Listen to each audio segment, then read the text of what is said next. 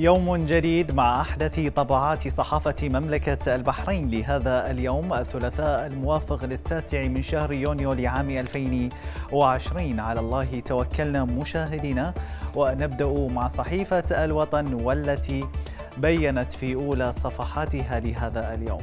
الملك أيده الله يهنئ العاهل الأردني بذكرى توليه مقاليد الحكم. تنفيذا لتوجيهات رئيس الوزراء رعاه الله.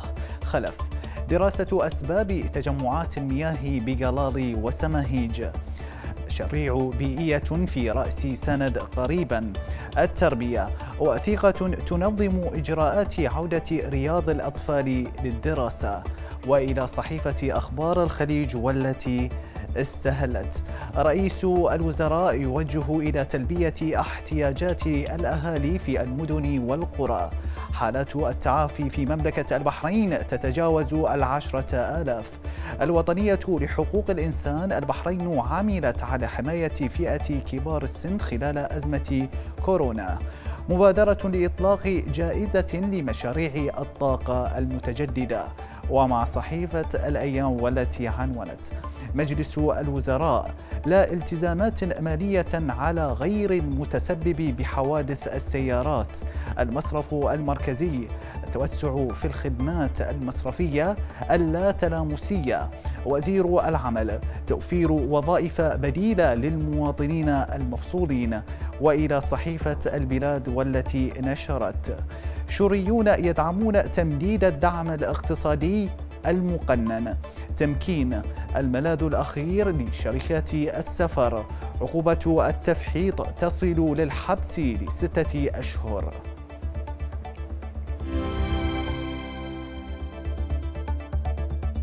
فتحت كاميرا صحيفة الأيام الأضواء مجددا في تحقيق صحفي مطول في صفحتين حول قضية سكن العمال وخصوصا مع الإجراءات المتبعة حاليا في زمن فيروس كورونا. فنشاهد أبرز عناوين هذه الإشكالية كما بينتها صحيفة الأيام.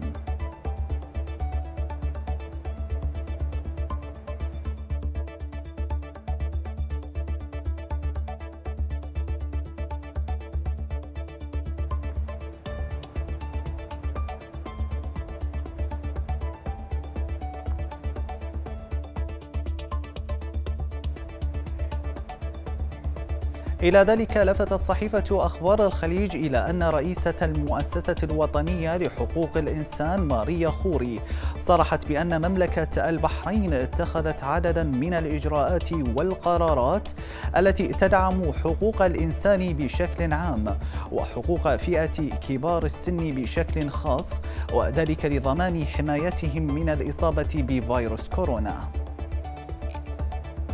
كما وبينت صحيفة أخبار الخليج أن محافظ مصرف البحرين المركزي رشيد المعراج أكد أن أزمة فيروس كورونا أدت إلى زيادة وتيرة الطلب على الخدمات المصرفية الإلكترونية مؤكدا على تطوير بعض المشاريع الخاصة بالخدمات المصرفية الرقمية في الفترة القادمة والتوسع في استخدام المعاملات التلامسية.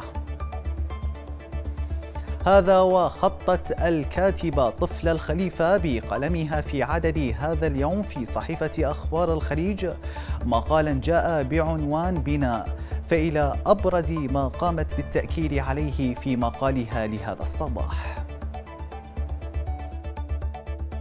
رغم ما تعانيه البحرين من أزمات نتيجة جائحة كورونا إلا أن البحرين تسير بخطى ثابتة في كل مجالات التنمية والبناء. سواء الاقتصادي والتعليمي أو البحثي أو الطبي. هذا يعني أن البحرين حكومة وشعبا بلد صامد قادر على مواجهة الأزمات. ومما تم مواصلة العمل فيه مشروع الاستزراع السمكي وهو مشروع بدأته الحكومة ثم طورته ووسعته بالتعاون مع القطاع الخاص وسوف يتم تطويره أكثر وأكثر من أجل أن يكون هناك مجال للأمن الغذائي للمواطنين.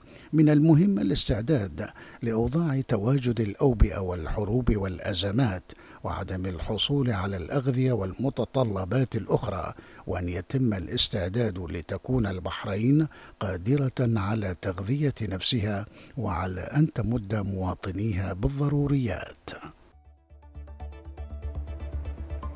نشر الصحيفة الأيام أن جمعية مكاتب السفر والسياحة البحرينية أجرت استطلاع رأي لعدد من شركات ومكاتب السفريات في مملكة البحرين وذلك للتعرف على آثار انتشار جائحة كورونا على أعمال القطاع في المملكة وسبل الخروج من هذه الأزمة بأقل ما يمكن. فيما نشر صحيفة الأيام أن وكالة أنباء البحرين شاركت في أعمال ورشة العمل حول طرق تدقيق الأخبار وانتشار الشائعات مع أزمة كوفيد-19 والتي جاءت بتنظيم من اتحاد وكالات أنباء دول منظمة التعاون الإسلامي. كتب الكاتب علي الجزاف مقالا في صحيفة الوطن والذي جاء بعنوان جهود البحرين ومتطلبات المرحلة المقبلة فإلى أهم ما جاء في سطور هذا المقال. الجهود التي تبذلها مملكة البحرين في مكافحة فيروس كورونا كوفيد 19 كبيرة وجبارة واضحة للجميع. هذا ما جعل من بلادنا الغالية إحدى الدول التي استعانت بمبادراتها منظمة دولية مثل مبادرة شراكة الحكومة المفتوحة. الجهود البحرينية في مكافحة فيروس كورونا استعرضتها أيضا قنوات فضائية كثيرة. في استشهاد قناة دبي بما قدمته البحرين من جهود وإنجازات ملموسة في مكافحة فيروس كورونا لم يأتي من فراغ بل هناك عمل واضح وجهود جبارة وملموسة تقدمها بلادنا في هذا الشأن. لذلك سنجد من يشهد لهذا العمل بالإعجاب والتقدير والثناء. لا شك في أن المرحلة المقبلة ستكون محكا حقيقيا واختبارا لعله صعبا. ليس للبحرين فقط إنما لكل الدول حيث لن يتم الاختباء أكثر من هذا الفيروس. ستعود الناس لمزاولة أعمالها ونشاطاتها اليومية والتأقلم مع وجوده في حياتنا. نجاحه يعتمد أكثر على ثقافة ووعي الجماهير من خلال اتباع الإرشادات المتعلقة بالسلامة والوقاية من الفيروس. بيّنت صحيفة الوطن أن مجموعة كيمز للرعاية الصحية كشفت مؤخرا عن التعاون مع الحملة الوطنية لمكافحة فيروس كورونا عبر تسخير مستشفى جديد منفصل في منطقة أم الحصم لخدمة الجهود الوطنية المبذولة لمكافحة الوباء في مملكة البحرين. نشر صحيفة الوطن أن مدير إدارة شرطة خدمة المجتمع أكد أن الإدارة ماضية في تعزيز الالتزام بالإجراءات الاحترازية للحد من انتشار فيروس كورونا وموضحا أن المجمع الأمني بالمحرق يعمل عبر التطبيق الإلكتروني على حجز المواعيد المسبقة للمراجعين.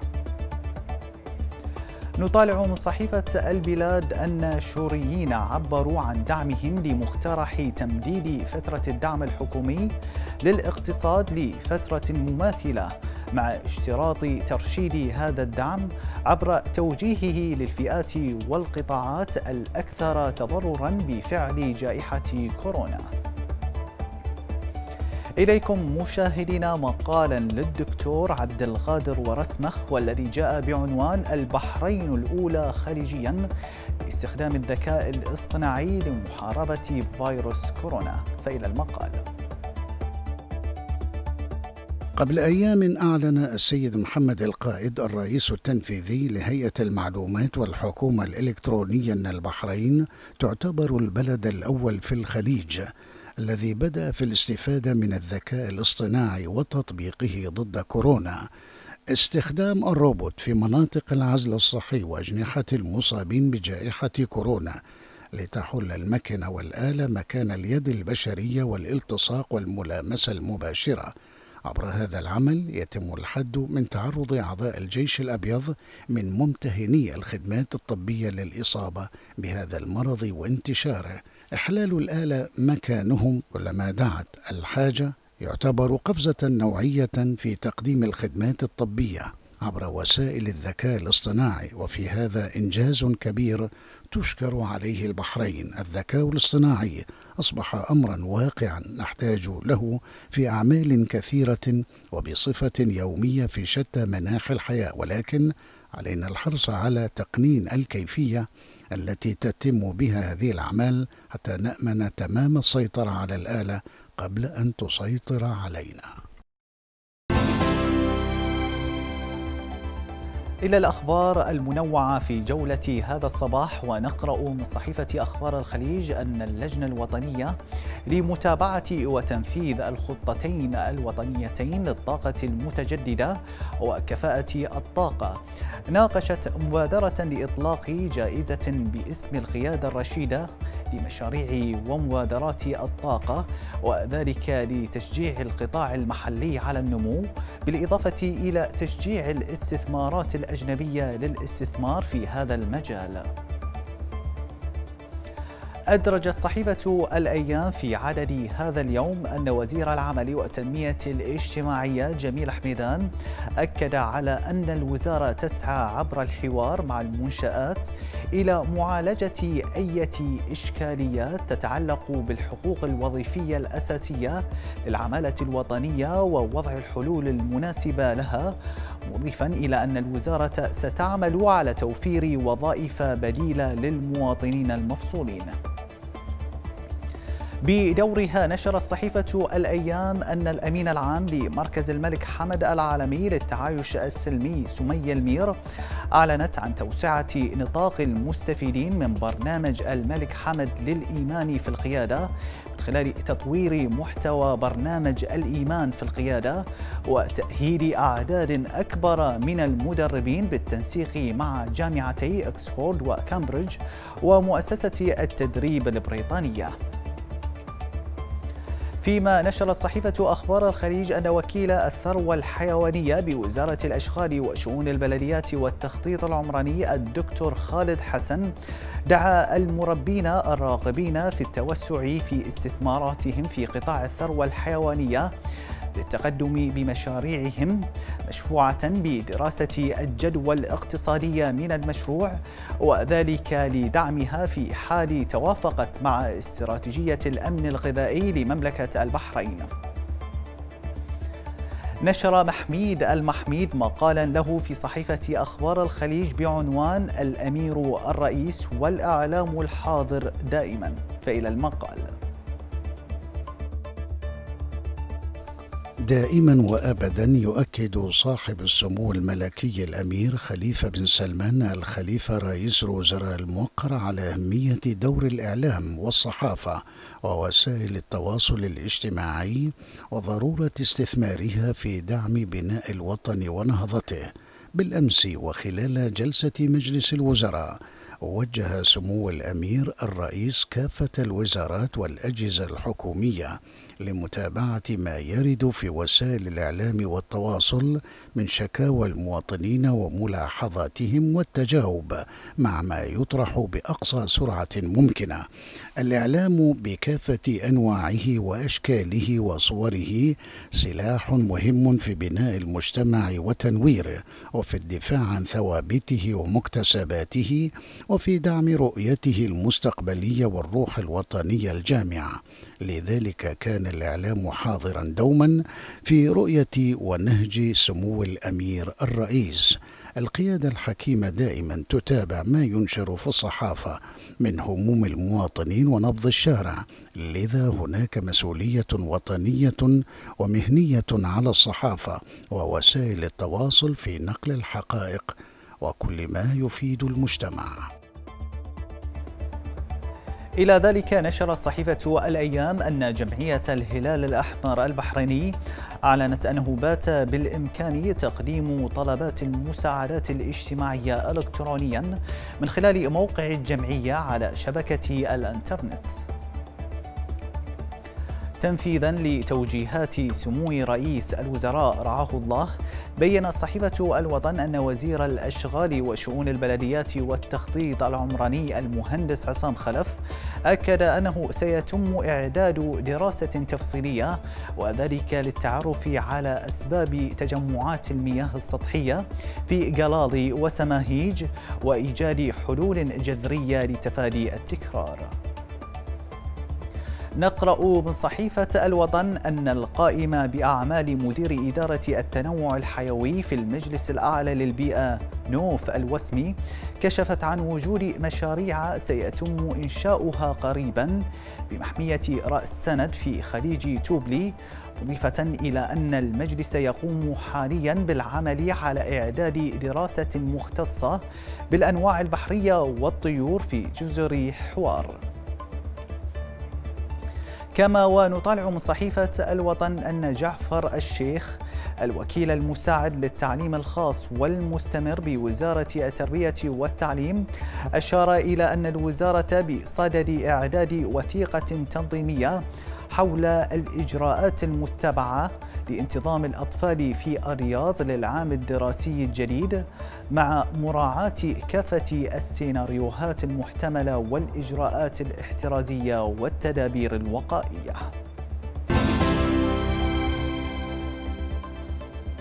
باتت الحكومة القطرية المتآمرة والممولة للإرهاب والمؤيدة للعدوان كسرطان في الجسد العربي. حيث نقل صحيفة أخبار الخليج إدانة مركز مصر والخليج للأبحاث المستقبلية والاستراتيجية والإنمائية. باستمرار قطر في سياستها العدوانية تجاه مصر والسعودية والإمارات والبحرين. للعام الثالث على التوالي ومواصلة المراوغة في الحيلولة دون العودة إلى الصف العربي مرة أخرى. وأصبح اسم قطر مقترنا بالإرهاب ودعم التنظيمات الإرهابية. كما ونشر صحيفة الأيام تغريدة للكاتب سلمان الدوسري قال فيها ما يلي في هذه الصورة.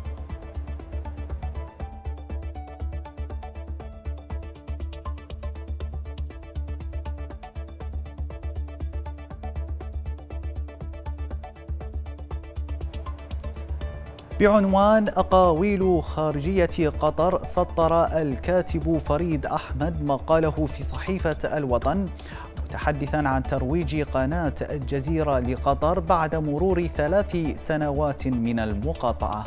فإلى المقال.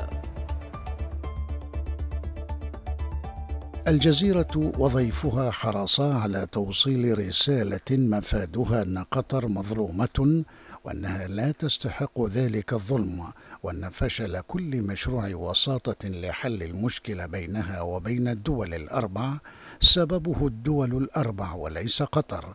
هذا أمر يعرف المتابعون لهذا الملف جيدا أنه غير صحيح فلو أن يد قطر كانت ممدودة بالفعل وكانت كما قال ضيف الجزيرة مرنة وتتفاعل مع كل مبادرة وتقدم تنازلات لما استمرت المشكلة ولتم حلها في حينها.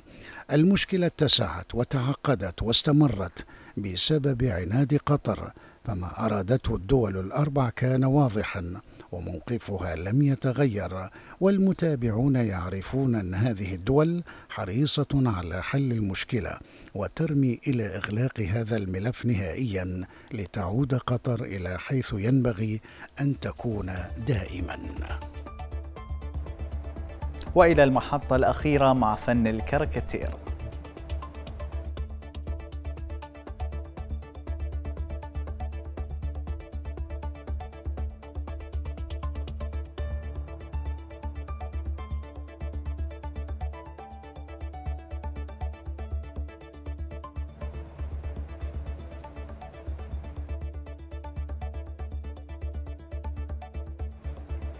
إلى هنا مشاهدينا نكون قد وصلنا إلى ختام برنامج صحافتكم لهذا اليوم. شكرا لكم على طيب المتابعة وإلى اللقاء.